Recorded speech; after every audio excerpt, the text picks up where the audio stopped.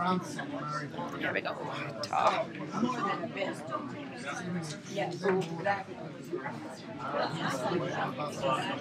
Because they got flooded, we got drought. No, there's nothing.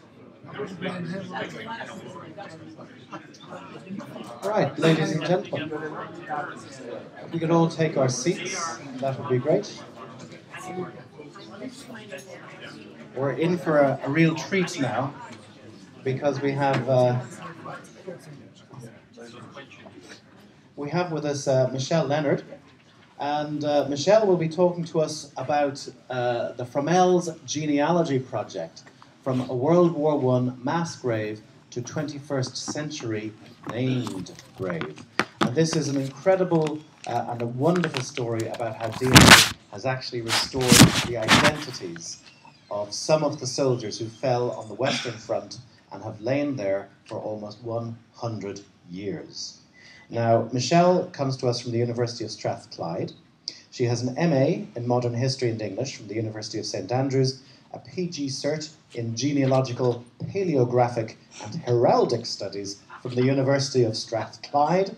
She's a member of the Society of Genealogists. I've heard her talk already, and I know you're in for a treat. So please give a warm welcome to Michelle Leonard.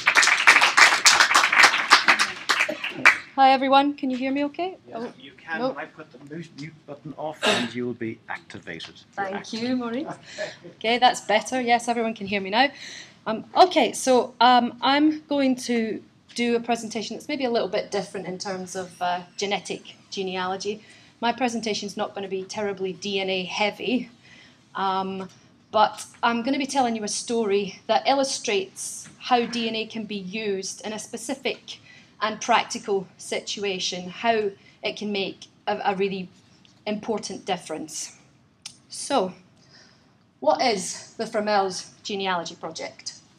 Um, well, it's a project that was set up in order to trace DNA appropriate relatives of soldiers who died at the Battle of Fromelles on the 19th of July 1916 and may have been buried in a mass grave located in northern France. So, I'm going to give you a brief overview of the battle, um, how the discovery came about, the initial investigation, how to proceed after the discovery was made, um, how DNA testing um, came about, um, what role genealogy played, um, how to find those DNA appropriate relatives, and how the identities of the men were eventually confirmed.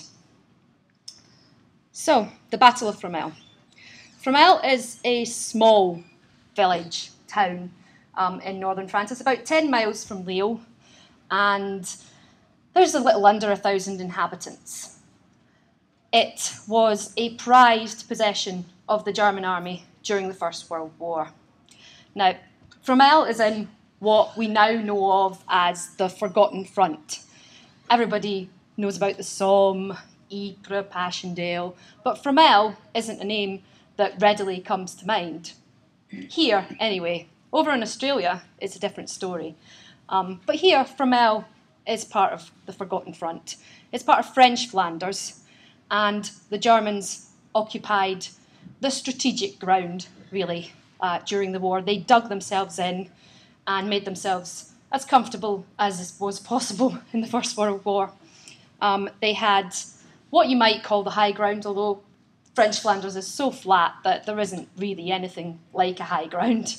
Um, but they had uh, an, an area called the Sugarloaf Salient, which was just a slight ridge, and that was enough to give them the strategic advantage. They had uh, machine gun positions in, in, in very um, important places. Um, they built uh, amazing defences, um, some blockhouses that still stand in the area to this day. Um, uh, their, basically, their defensive structure was vastly superior to what the Entente forces had. And to attack them there was pretty suicidal.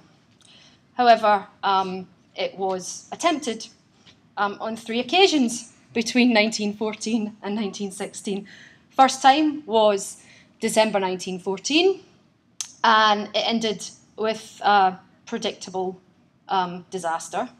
The second time was the 9th of May 1915, which was the Battle of Aubers Ridge. Again, that was an unmitigated disaster. There were over 11,000 British casualties on that um, particular day. So we move into 1916, and on the 1st of July 1916, the Great Somme Offensive begins. And back on French Flanders, on the Fromelles front, um, the man in charge was Lieutenant General Sir Richard Haking, and his big idea was to repeat exactly the same attack that had been tried twice before in order to create a diversionary tactic. This was basically a feint. It was to, to prevent the German soldiers from uh, going to help out their comrades at the Somme more than anything else. Um, and uh, there was quite a lot of debate on whether it should take place or it shouldn't. But he got his way, and it was put off a few times. The um, the way the, the, they were going to attack was changed a few times, but um, and it was put off due to weather on the 18th. But the 19th dawned, and clear weather. Uh, a seven-hour bombardment, artillery bombardment, was the first uh, port of call. Uh, that took away all surprise from the move. The Germans had seen it before. They also had um, very good vantage point to see everything that the Allies were doing, not from the ground per se, but they had created platforms and trees on church towers. They made sorties out into no man's land regularly, listening posts. They knew exactly what was coming.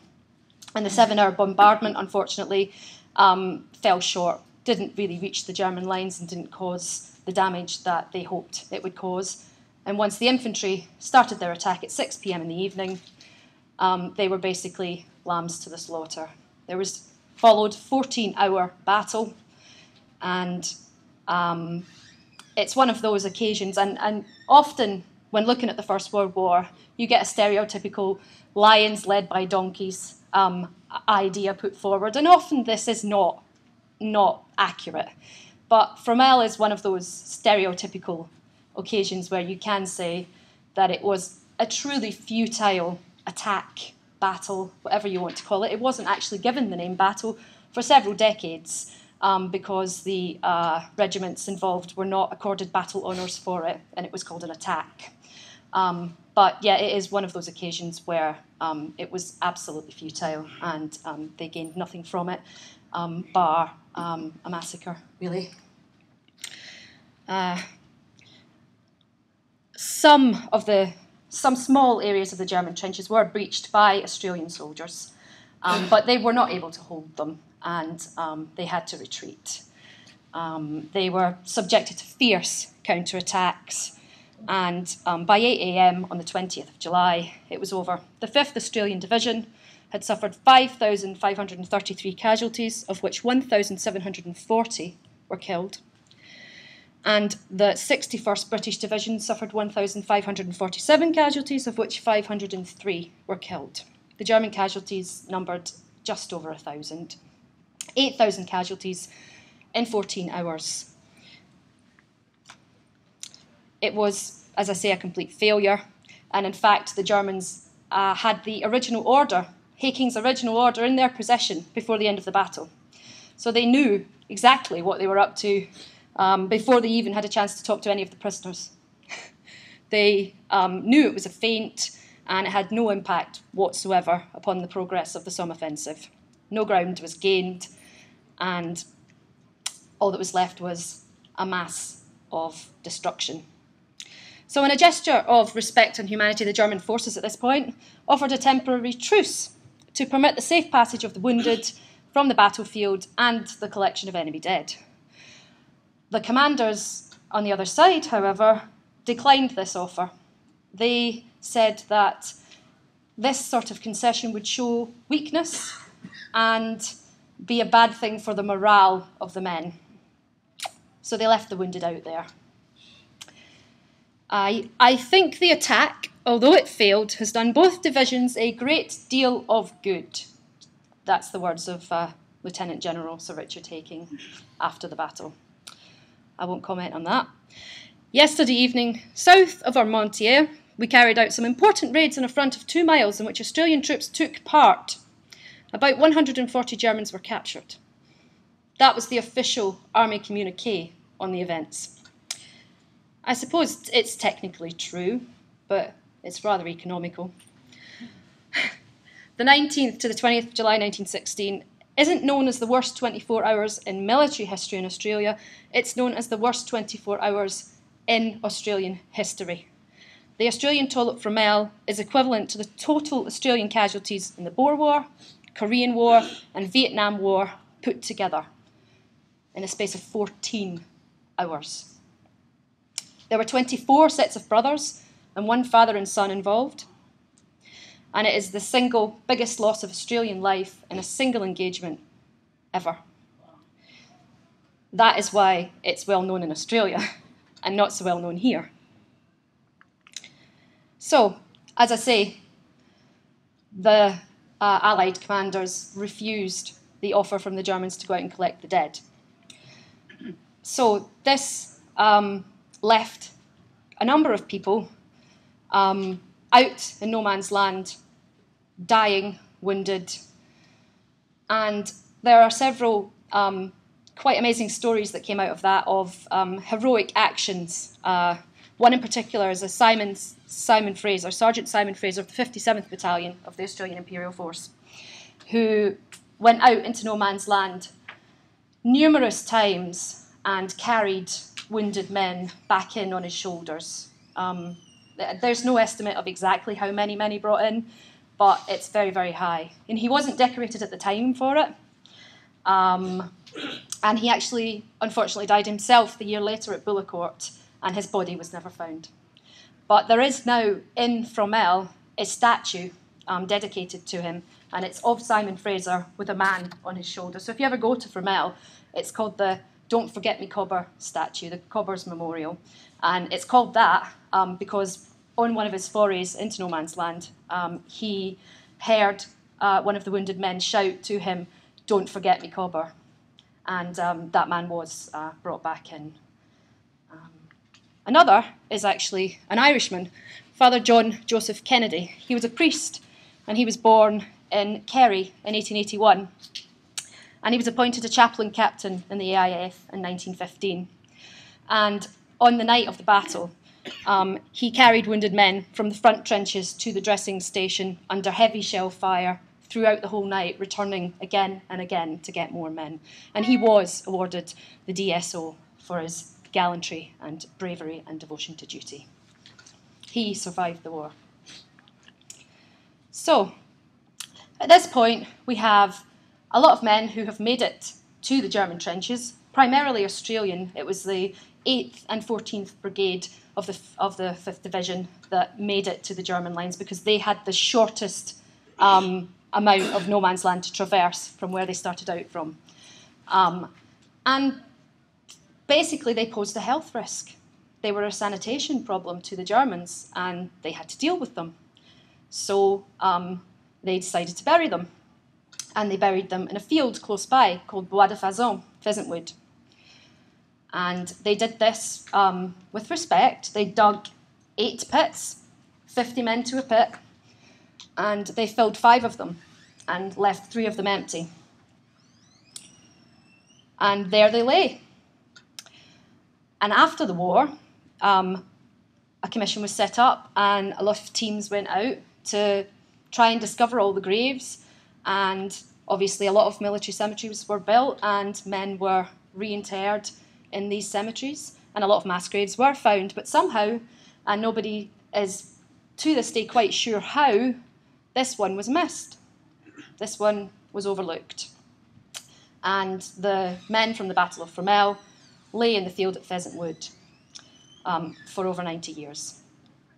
However, there had been rumour in Australia because there's so many families out there with relatives who they want to know where they where they were, what happened to them, where they were buried, and they spent years trying to find this out. And sadly, um, the the relatives of the day never did find out where they were.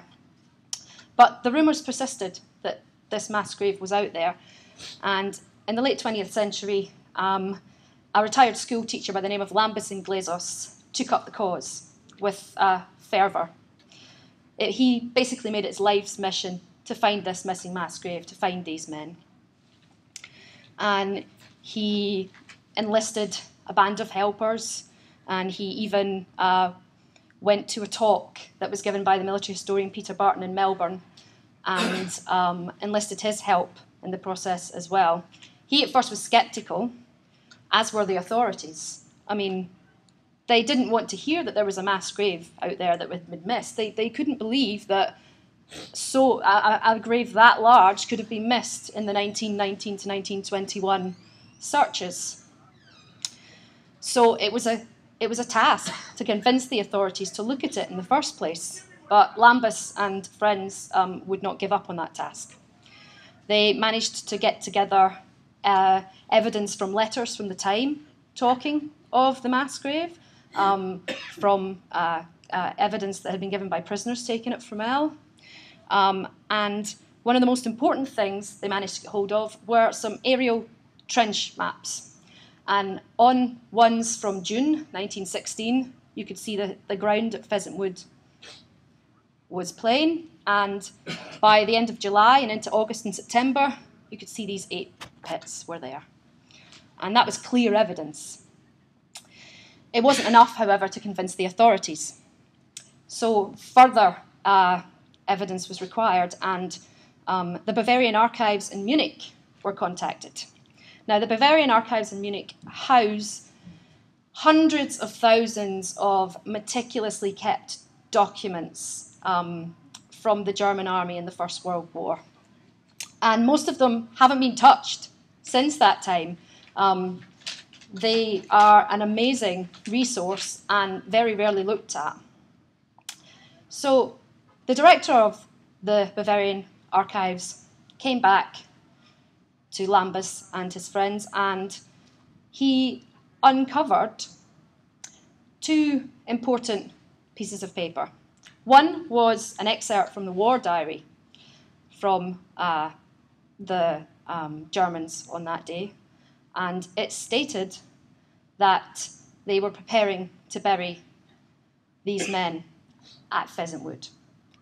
He also found the original order, Order 5220, that ordered the burial of the men at Pheasant Wood.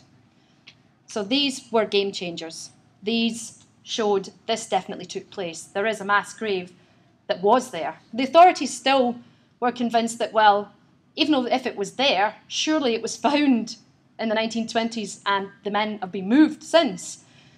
But going back to Imperial War Graves Commission uh, evidence and records, there was no record of it ever being found. So something had to be done. And eventually, a lot of, enough pressure was brought to bear, and a team from Glasgow University Archaeology Department were sent out in May 2008 to do an exploratory search in the area. And they very quickly found that there was indeed an undisturbed mass grave at Pheasant Wood. So, at this point, decisions have to be made. We have a mass grave, what do we do with it?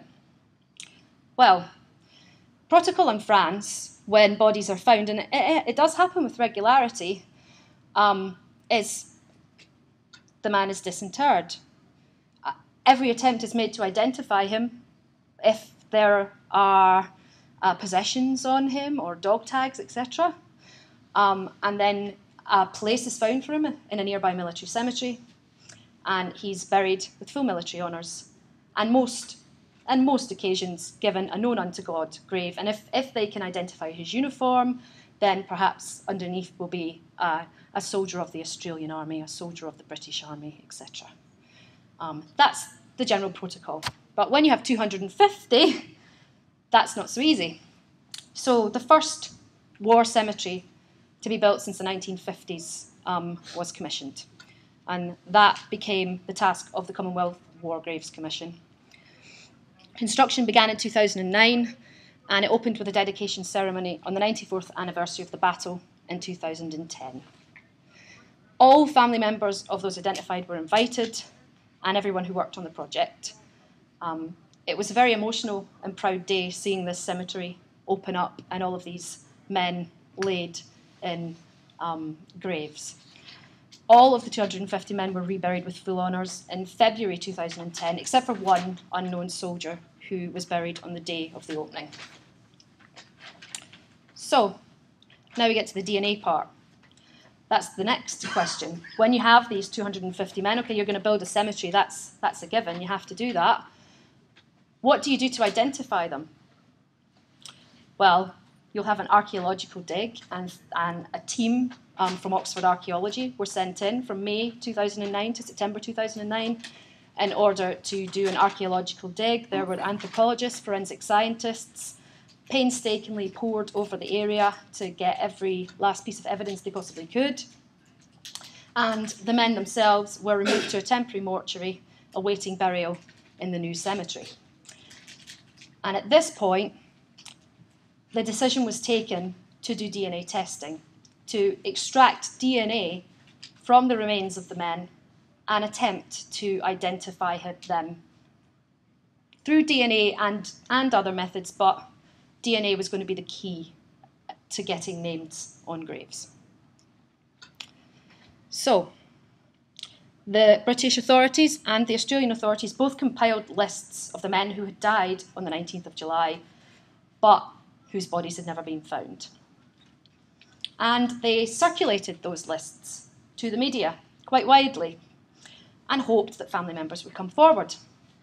But there was a pretty big flaw in this thinking. It had been over 90 years, and the majority of these men were actually boys. They had no families, and the majority of the relatives that you're hoping to come forward would be second cousins and great nephews and people who very well might not know this person ever existed. And even those who did have issue of their own and who had had living grandchildren or great grandchildren, very often the information given at the time to the families was incorrect. They were told he died on the Somme. And, and, and I'll show examples of this. Um, but these people might not go looking at this list because, oh, my granddad died at the Somme. So, how do you get from the DNA from the men? How do you then get your DNA from the living relatives in order to try and match it up? Well, you need a project to do that, and the Fromelles Genealogy Project was set up by a group of volunteers in order to proactively track down DNA appropriate donors for all of the men on the lists. S- separate projects, although they worked in conjunction, were set up in Britain and Australia. And the British project took on the task of researching the trees of 332 missing men of the 61st British Division. And that was an enormous undertaking, which has resulted in an ancestry tree of over 18,000 names and counting. The Australian project had a much harder decision to make. With over 1,300 missing men that night, whose, whose bodies have never been found, it would really take an army of researchers decades to trace donors for them all. So it was decided to concentrate on the 191 of those who appeared on what are called Toten lists, lists of the dead. And these um, were uncovered by the military historian Peter Barton via the uh, Red Cross archives in Geneva. Now, the red, the, when the bodies were taken by the Germans from the battlefield, what they would do is they would take the dog tags off the bodies and they would send these dog tags to the bureau in Berlin, who would then send them on to the Red Cross in Geneva, who would then send them on to the British, who would then send them on to Australia, who would then send them to the families. So the Red Cross was the correlation, the meeting point for all. Both sides would send possessions and dog tags to the Red Cross, and the Red Cross had the unenviable task of administrating, administrating death, really, and the news to um, all of the different areas and families. So these dog tags, unfortunately, were no longer on the bodies. The families would have them, and great lists were created called Toten lists, lists of the dead, by the Germans, and these were passed to the Red Cross. So all of the men's names on these lists had gone through German hands. They had, not all of them would have been buried by the Germans because some of them may have been a bit too far out in no man's land, and they would have just taken the dog tags or the possessions and sent them on. But most of them would have been. Most of them had cut, all of them had gone through German hands. So it stood to reason that those on the Toten lists were much more likely to have been buried by the Germans at Fromelles than the other men on the list of missing. So, the Australian project decided to initially concentrate on the 191 names of Australian AIF soldiers on the Toten lists. The other problem with the dog tags is that um, in July 1916, men only wore one dog tag. By September 1916, the decision had been taken that they should all wear two. Therefore, if a man died in battle and one dog tag was taken off and sent to the Red Cross, the other would remain on him, and then if he was later found and could be, he could be identified by his second dog tag. Unfortunately, that wasn't the case for the Fromelles boys. So, looking at the DNA, they decided that the tests to be conducted on the men would be Y DNA tests and mitochondrial DNA tests, not autosomal. Only six out of the 250 men did not yield a viable DNA sample.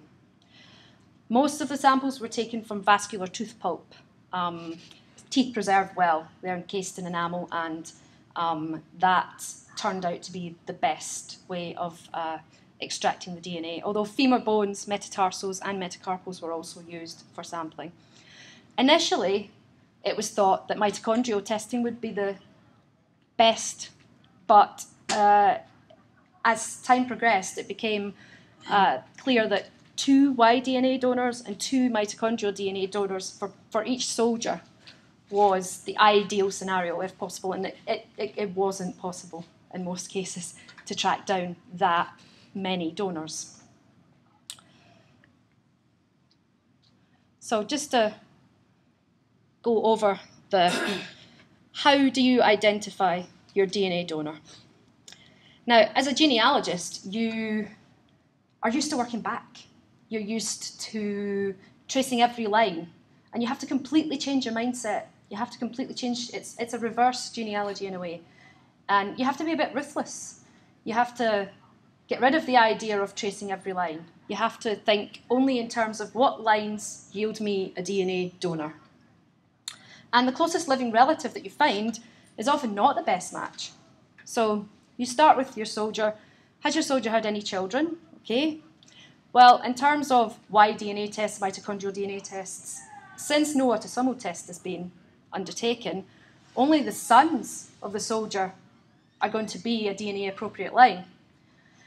I did make exceptions when it came to children of soldiers, however. Um, if I found that the soldier had had daughters, I would trace those lines because I felt that morally, um, if there were grandchildren or great grandchildren from a daughter, although they may not be able to take the test, the DNA test, they deserved to know that um, their grandfather or great grandfather um, may be uh, buried in this mass grave. So um, I did follow all lines of children, but only the sons would be any good in terms of um, taking the DNA test.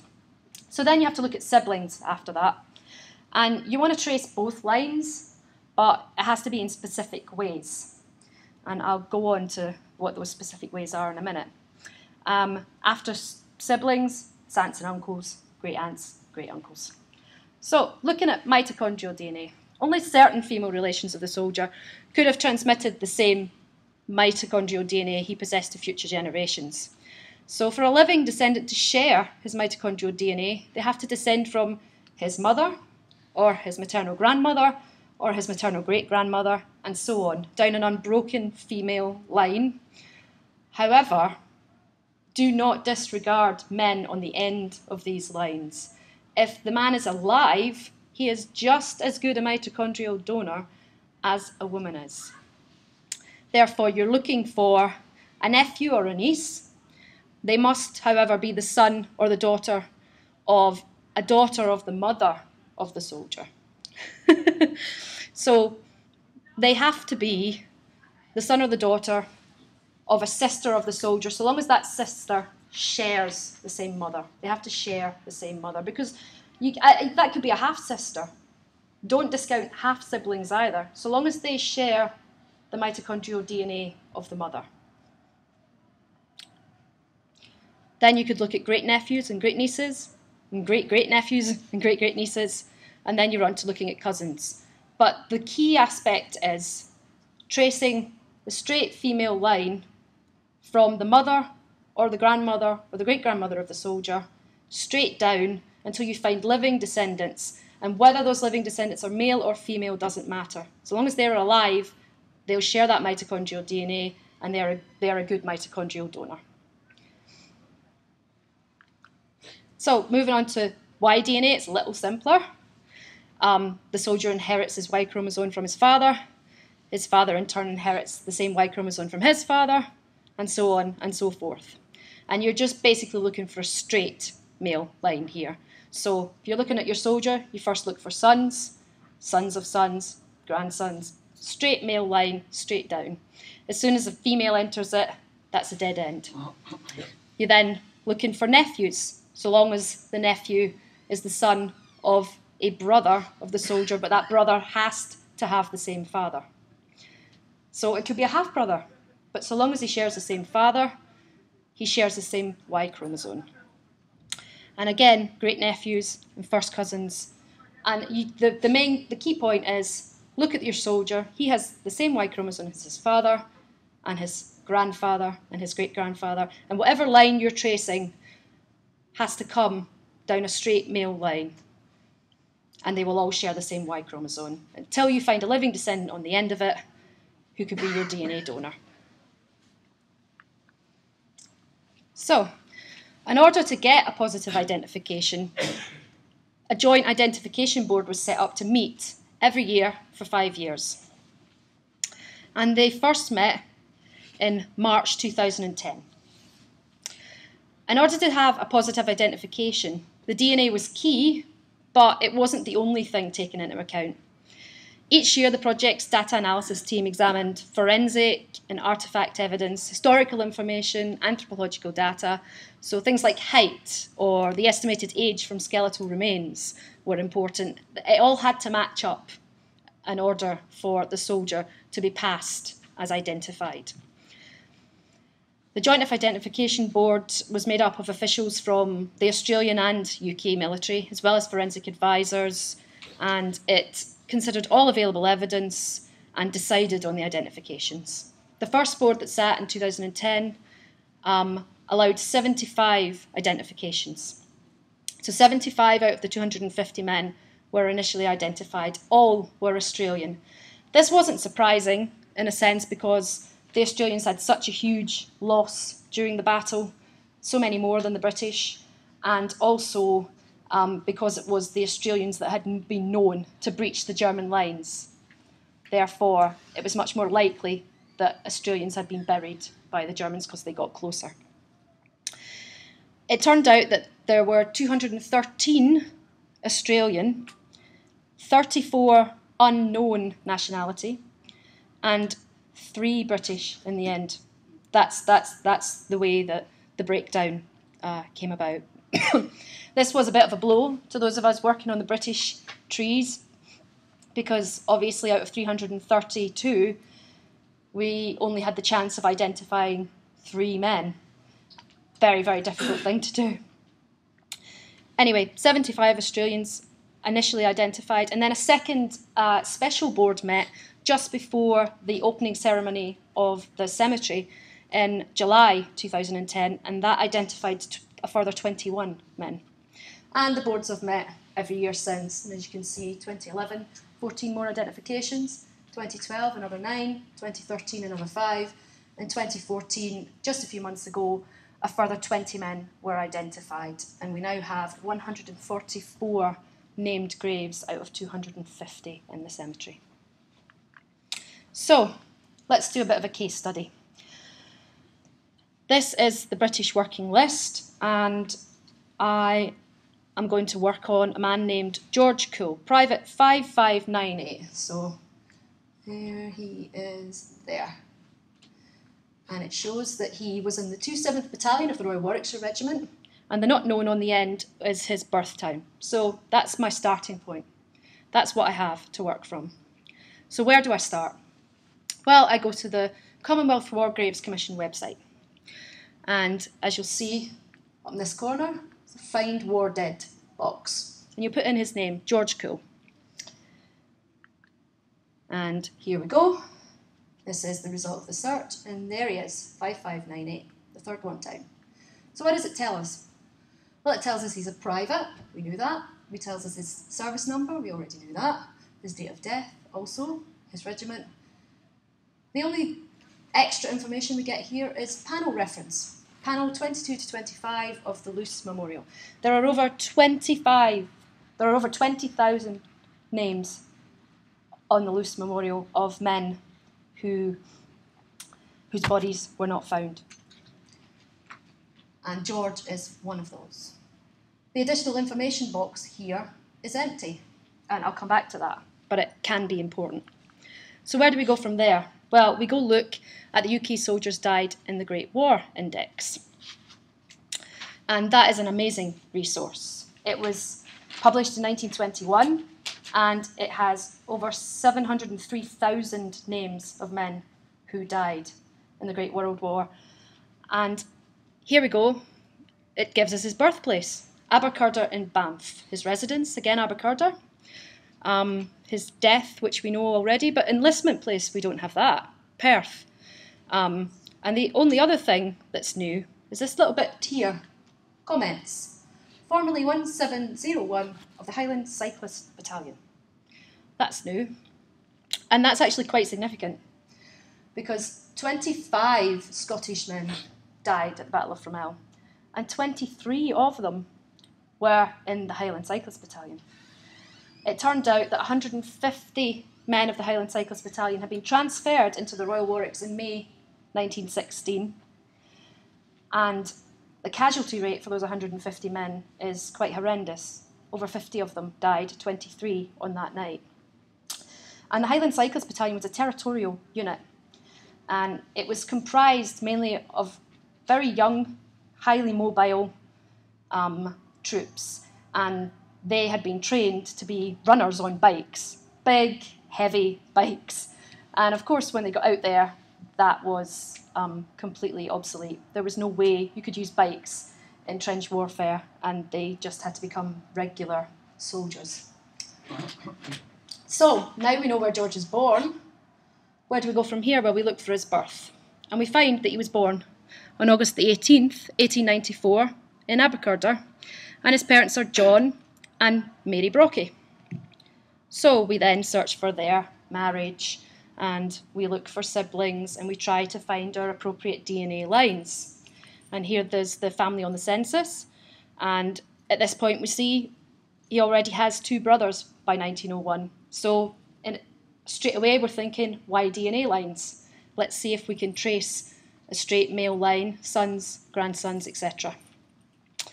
Um, I actually couldn't find a Y DNA donor via his brothers, um, but I did find um, a niece, and she was um, the daughter of uh, one of his younger brothers. And obviously, therefore, she's not a DNA appropriate relative. However, she's a very close relative. So I rang her up and I got used to doing this spiel. Um, I am a World War One researcher, etc., etc. Fromelles, battle, mass grave. And before I had get anything else out other than World War One, and I, I can't convey the emotion myself, but she just said, "Oh, my uncle George," and that was it. I didn't get anything else out, and I said, "Yes, I am calling about your uncle George," and we spent about an hour or so on the phone, and she was like, "I haven't spoken his name in over forty-five years. How did that happen? You know, my."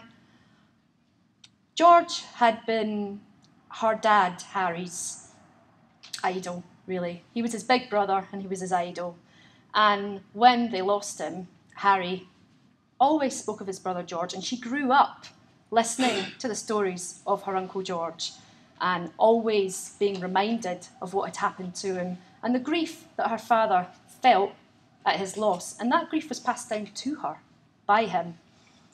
And she couldn't believe that after he had gone and those who had known George or those who would speak about George had gone, that she never spoke of him, that there was no one to speak. And she, she felt awful that she hadn't told her own children about her Uncle George or her grandchildren. And, and she got energized and decided that she was going to do all of these things. And she was going, she went to visit her, her cousin's widow and managed to get hold of this set of photographs um, of men in military uniform. And she phoned me up uh, really excited and she said, It might be George, it might be George. And I was like, Oh, hold fire on that. And, she, and, and I said, Well, go and see if you can get them copied and send me some copies. And whatever you do, do not put these originals in the post to me. Of course, she did exactly that, special delivery the next day. and they turned up. And um, I very quickly realised that they were photographs of First World War um, boys. Um, this is actually um, a photograph of the whole family, and that's George, the eldest, um, at the back there. Um, but the First World War photographs, here they are, and I think this was the bit that kind of stopped my heart. C Coy HCB at dinner. C Company of the Highland Cyclist Battalion at dinner. And I did do a bit of research just in case anyone else in the immediate family had been in the Highland Cyclist Battalion, but it was highly unlikely and I didn't find any evidence of it. So, And there is one boy that's in most of the photographs, and um, there is a photograph of him on his own. And this was a photograph taken in late 1915, um, dated to late 1915 and um, that would be the correct period for when George um, joined up. And so that is George. So we identified him, we gave him his name and his face back. And uh, this actually shows you just what the parents were told. So here we have here George on the gravestone. Reported missing at the Battle of the Somme, 19th July 1916, afterwards reported dead November 1916, aged 21 years. And the parents wanted his name on their gravestone. They wanted him commemorated because he had no gravestone. But this is what they were told. This was the misinformation. They had never heard from El. In fact, the whole family knew nothing of Fromelles until I made that phone call in 2009. So, moving on to another HCB boy, and this is Harry. And he actually joined up underage. He died at Fromelles on the 19th of July, aged 17. And the family, a story goes that he joined up, aged 16, because he wanted a bike. He was a young boy and he wanted a bike. And there he is with his HCB bike. They had guns on the front of them. and this is his final letter home from the trenches. And it is quite poignant. It says that he's in the trenches and it's like hell on earth. It's been raining for a few days and they're up to their boots' heads in muck. He asks for little Willie and also Barbara and Maggie and says he's no more to say at present, but he remains their loving brother Write soon, Harry. SWAK, sealed with a kiss. Good night, sealed with a kiss. Two sealed with a kisses. It's really quite childlike in a way, and um, very upsetting. So I'm just gonna move on to this man here, and he's one of at least two um, Irish-born men that I've uh, uncovered who died at Fromelles and he was Lieutenant Louis Barron. And he was born on Christmas Eve, 1888, in Limerick, and he was a pupil at the high school in Dublin on Harcourt Street. He was the eldest of six children of Jewish immigrants, and the family moved to Dublin in 1893. he became a solicitor and actually worked for um, a well known Republican solicitor during the Easter Rising and is, is named in a few different um, witness statements at that time. But then he went on to join the army and he also died at Fromelles. And we did find um, a donor for Louis in Ireland, um, but he also was not identified. So here is someone who was identified, and you may um, recognise him. Corporal, Corporal Robert Courtney Green, the 32nd Battalion of the AIF. And that is his grave in the cemetery in Fromelles. He was one of the subjects of the official documentary that I worked on in 2010. And his mother was a hoarder. and she kept everything, everything. And it was all found in a suitcase uh, lying in an attic, untouched pretty much for 90 years. And um, there is an amazing set of letters from Bob's fiance, photographs, letters that Bob sent himself, um, his identity tag sent back by the Red Cross, his death penny, and his official scroll, all in the original envelopes and everything. And Bob was born in London in 1886, and um, he wanted freedom and decided that emigrating to Australia and working out there um, to try and gain a bit of land for himself was the way to go. So he did that. And he did get um, a land with his friend Bill. They bought a 250 acre plot in Western Australia and they did okay for a couple of years. And then there was a couple of years of successive drought and um, they were struggling financially.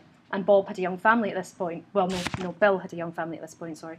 And Bob felt conflicted. He desperately wanted to join up and do his duty, but at the same time, he felt that by joining up, he might be condemning Bill and his family to destitution because he would no longer be there to help with the farm. But in the and he actually sent a letter to his mother, um, apologising for not doing his duty at that point in time. And this was early 1915. But by mid 1915, he felt so bad about it he could no longer stay out and he joined up and he ended up in the 32nd Battalion of the AIF. He trained in Egypt, and they were shipped into France at the end of June 1916, and he had died within a month. That's the thing about the the, the Australian um, recruits and the British recruits that fought in the Battle of Fromelles. None of them had ever seen active service before. They all arrived in France between May and June 1916, and this was their first ever battle. This was their first ever engagement. Um, so it was hardly experienced people they were sending over the front. So this is his identity tag, and you can actually see the ingrained blood still on it. This is his scroll and his death penny. And this is one, and this is his actual Australian Imperial Force attestation papers. Now, the Australian uh, records are absolutely amazing and thankfully survive. And his record actually runs to 49 pages. Yeah, and so if you want to, um, they, they include letters, photographs, um, all sorts of amazing information, and newspaper clippings as well. And that's a photograph of his fiancee Nancy, who um, tirelessly uh, worked to try and find out what happened to him. She sent letters to all sorts of uh, soldiers she knew had been at the battle. She harangued the Red Cross time and again for information, and eventually she did find out that he had died um, with his friend Alan Bennett. Um, uh, in they had been wounded so badly that they had to be left behind during the retreat, and he died of a stomach um, wound. And those are the uh, famous letters that she sent her, his mother. I'm just going to go on here to how you find those Australian records. So here is the National Archives of Australia. And you put in your soldier's name and find him uh, down here, service number 1216. This is James Hugh Ross, who was also identified. It's one of the Scottish men that I worked on, who has a named grave now. And you then click on up here, View Digital Copy, and it brings it up for you. And this one has 37 pages. Again, amazing, amazing um, letters and information inside the service record. So if you have any Australian um, uh, war um, dead or indeed um, just men who served in the Australian Imperial Force, um, please go and look up the National Archives of Australia website for these. And this is uh, Sergeant Jack Marchment, who is one of the 20 men to recently be identified and just recently get his named grave um, a couple of months ago. This is a look at um, the documentary that we made about Fromelles in 2010. So I'm going to end now um, by going back to George. A lot of people say to me, um, Aren't you disappointed? You never got any British named graves. And that's, I take issue with that because I don't find it strictly true. Um, quite a number of the Australian uh, uh, graves are, well, as you see with Bob, men who were not born in Australia, but born in England or Scotland or Ireland, hopefully, or, or Wales. Um, so, but of the 332 men on the British working list, yes, we don't have any identifications despite all the work we did tracking down DNA donors because there's only three possible uh, um, men it could be. And I say to the idea that I should be disappointed at that, yes, a little, but in the main, no, I'm not disappointed. And I'm not disappointed because, well, I've called this talk from, ma- from mass grave to named grave, but really, I feel it's more about from anonymity to remembrance. Um, despite the fact we don't have named graves, for most of the men we've worked on, we've brought them back to life, to family members, to people who maybe never even knew they existed. I get people telling me that they're going to go and visit the Loos Memorial and they're going to trace their finger across his name, a man that they never knew existed. You know, or I get uh, people saying that they've found photographs and they've framed them and they've put them on walls. I get people saying that they've downloaded the Commonwealth War Graves Commission commemorative certificate and they're framing that. The, these men are now being remembered and they may not have a name on a grave, all of them. Only 250 could possibly get that. Um, but they've got the remembrance of family members and of researchers and of the world at large, bringing their stories back to life. And I feel that that's much more important than just the names on the graves.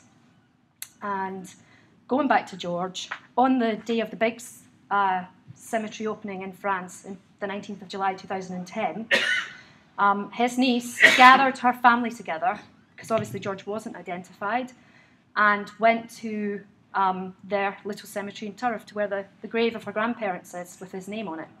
And she took the photograph that we'd uncovered of him, which I had colourised and enlarged for her, and she sat at the grave, and they had their own little memorial just for George.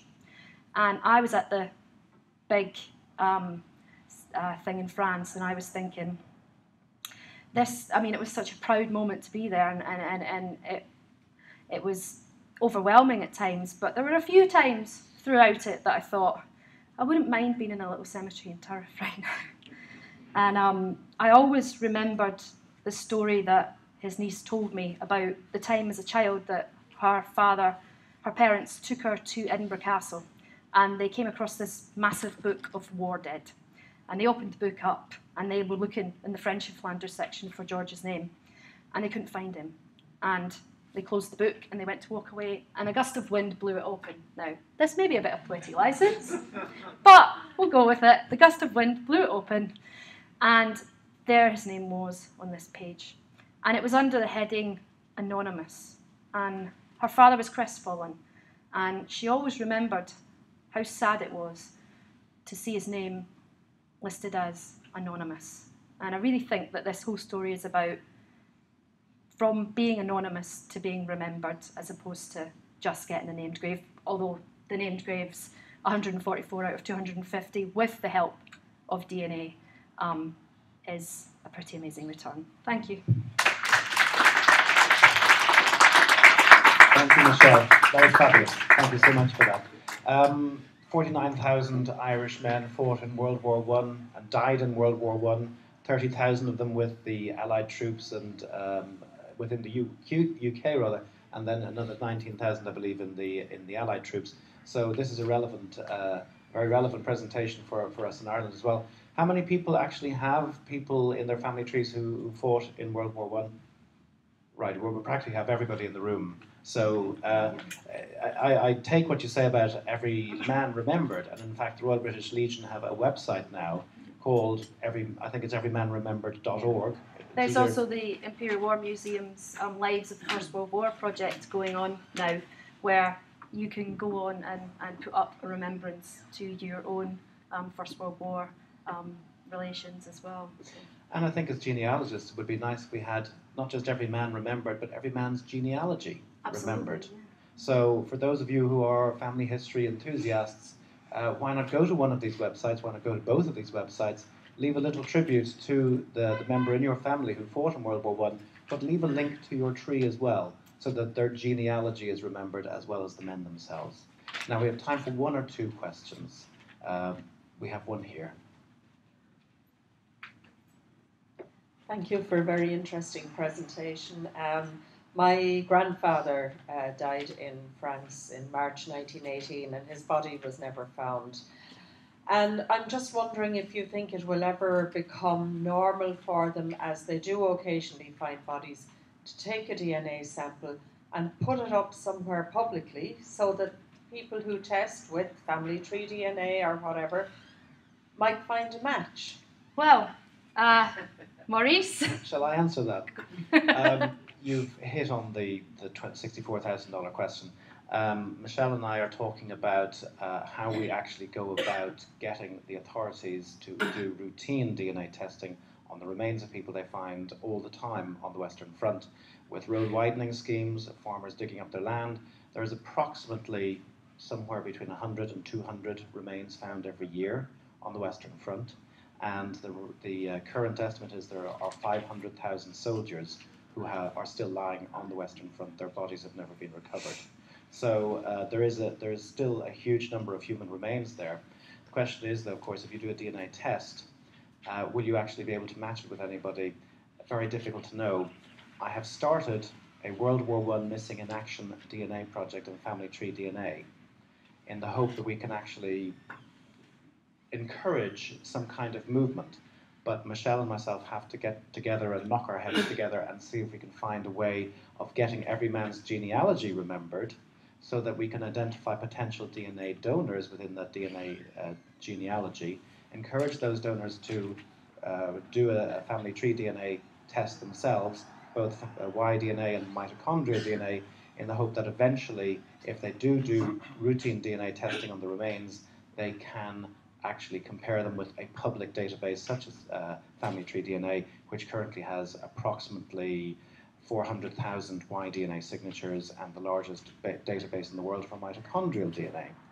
That's the challenge. Uh, part of the challenge is that they only do 17 STR markers on the Y-DNA test uh, using the forensic laboratory that they currently use. And I think one of the challenges that we have to inquire, inquire about is is it possible to get more than 17 STR markers on Y-DNA, preferably up to the 37 that family tree DNA do, ideally 67 or 111. Uh, the idea being not to identify a close relative of the, the man who has fallen, but to use his Y-DNA to generate potential matches for the surname. Because then if you find the surname, it narrows down the number of people you have to look at in the documentary records. So that's the kind of um, uh, project we're trying to develop at the moment, and it's still in its early stages, but we have had preliminary, um, uh, we've made overtures towards the Ministry of Defence in the UK and uh, various other people as well, with the idea that a variety of different groups get involved to try and make this come to pass. But that's an excellent question. We had a, one question over here. Very quickly, could it, are any of the DNA samples retained? Could they be tested later? Of the Fromelles men? Yeah. I believe so, yeah. Yeah. Um, although the five-year cycle of the identification boards meeting is now over, the, the, the fifth one met in March this year, um, there's, there's a strong um, hope that uh, especially on the Australian side, that, that there's still a lot of um, ongoing genealogy work to try and I'm, I'm, working on some at the moment to try and track down DNA donors for more of the men. Um, and obviously, if those are tracked down, then the testing will be done. That has been confirmed. So, yes, the DNA samples will be retained. One final question. Yeah, we're on overtime, I want to leave, but thanks for a superb lecture. Just one question. Uh, w- I've used, uh, obviously, the Commonwealth Court War Graves Commission website and uh, Forces War Records. Uh, is there any other site that is particular? You mentioned one there about Find UK something, where you, where you, where you got more information about the First The, the soldiers died in the Great War. Yeah. Um, yeah, that you can find that that you can get them on CD-ROM. Um, the, the, it's um, online in a number of different places. Ancestry, Find My Past, um, all of these kind of uh, I think it's free websites. to search. It is Ancestry at free to moment. search. Yeah, it is. It is. On Ancestry? Yeah. Yeah, Um, it's and it's a it's an exceptionally good resource, and, and, and Ancestry also has um, the remaining service records um, for the British soldiers as well. And, and if you can find one, they're they're fantastic. The, the the thing about the Australian ones are is that they are complete. There's none missing, whereas the British ones, um, a large proportion of them were destroyed uh, during the Blitz in World War Two. But those that survive are digitised and on Ancestry, and very well worth a look. No problem. Great, and I think that is uh, at the point where we'll have to end this conversation because we, we could talk about this for a lot longer, and I think you've touched the hearts of a lot of people in the audience. And it just remains for me to say thank you, Michelle, for sharing this with us.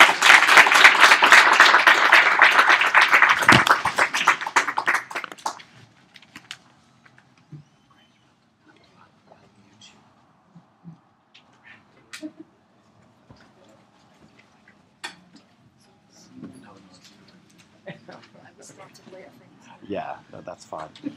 Great. Hmm, it's actually just a minute. Yeah, you have everything? All right.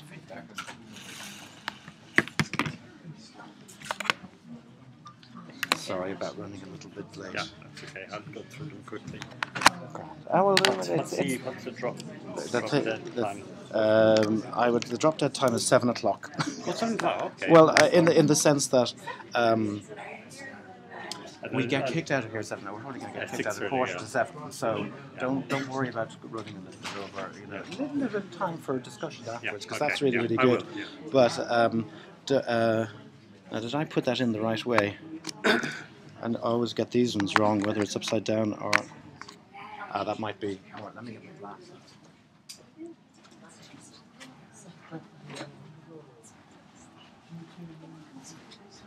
There we go. And yours is the GGI. Yeah, yeah. Okay, and you want both of them or just? Uh, both, Let's do both. Copy both of them just in case. Okay. And let's go down to. Oh,